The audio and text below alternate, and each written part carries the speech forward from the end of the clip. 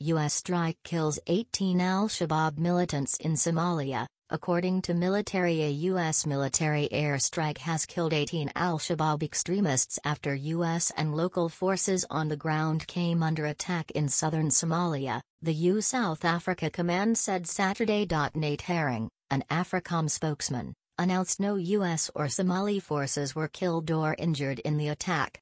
The airstrike was conducted on Friday in self-defense after extremists were observed maneuvering on a combined patrol, while the U.S. also returned with indirect fire, the spokesman said. The confrontation occurred about 31 miles northwest of the port city of Kismayo, the U.S. Africa. Two other al-Shabaab extremists were killed by Somali forces with small arms fire during the engagement. The operation was Somali-led, the AFRICOM spokesman said. There was no immediate comment from Somali authorities. The U.S. has carried out more than 20 airstrikes this year against the Al Qaeda linked Al Shabaab, the deadliest Islamic extremist group in sub Saharan Africa.